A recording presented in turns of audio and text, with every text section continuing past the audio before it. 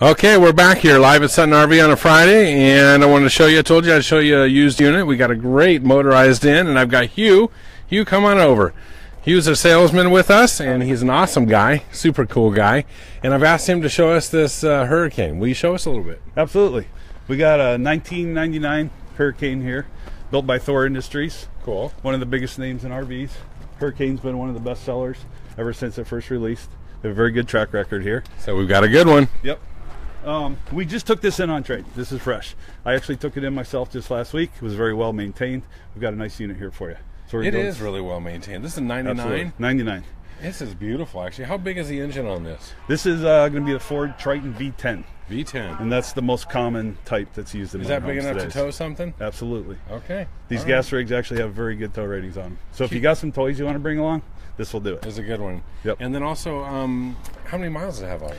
Actually, that's the thing. So we got under 48,000 miles on Oh this my unit. gosh. Okay, you got a 99, well built, solid V10 Triton Yep. under 50 gra- uh, under 50,000 miles. 50,000 miles. Excellent. I'm sure we've got a price right. So, Yes, absolutely. All right, let's show us the inside a little bit. Tour. You got to love the fashion in the 90s, I'll tell you. They don't make This is beautiful. anymore. You know the night and you're right about that, Hugh, because a lot of things in our country were made better then. Yes. You know what I mean? And this is definitely an example. The, the fashion's a little, you know, out there, but Yeah. that's okay. Hey, Whatever. Somebody's going to love it. Somebody already did love it, Absolutely. actually. Absolutely. Um, last customers enjoyed it quite a bit, actually. Cool. And like I said, they took good care of it. We've got all the service records actually in the bin in the back, which is uh, a nice thing to have on a motorhome, especially this age. When an owner has all the service records, you obviously see how they've treated it, Yep. therefore what you're buying, and that makes a big difference. It really does. We haven't even touched this unit yet, and it came in here just looking nice. Good deal. It Looks doesn't very even- good, very and there's no smell.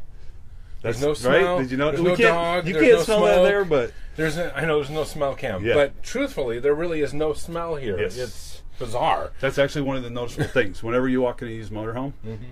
even a lot of the well-maintained ones, you you sense something. Yeah. This one you don't. This has no It's fresh. smell at all, so it's a good fresh. thing. So it's taken care of. All right. Yes. So we Cool have floor plan. a pretty basic floor plan here. It's functional. It works well. It's proven.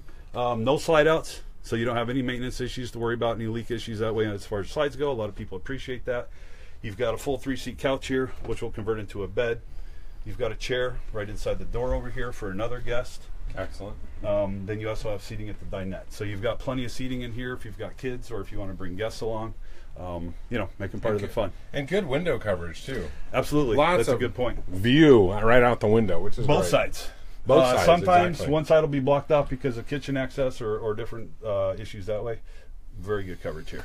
Like it. All right. And if you think that getting there's half the fun, you need to get into a Class A. Oh, 180 that's true. degrees of glass up front, you can't beat it. Cool. You can't beat it. You know, I never heard that, but you're right. Why wouldn't it be that? Of course. absolutely. It is an awesome view up there. How cool. It really is. Um, and again, just a nice unit. It's clean. You look at the the ceilings, you look at the walls, look at the floors. Nothing soft. Um, nothing going on. yeah. Yeah. It's, no it's- stains.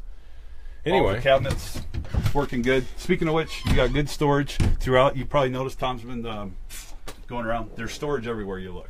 They did a really good job giving you a place to keep all your stuff. Nice size kitchen. Yep. Two Got a little- sink. Two, yep, double sink, stainless steel. Mhm. You can throw boiling hot pots and pans and, and whatnot in there. Nice. melt it. So Yep. that's good to go. That's a good thing. Microwave, of course. Okay. Good size RV fridge. Nice. Working our way back to the bedroom, you've got a walk around queen, and it actually has good access.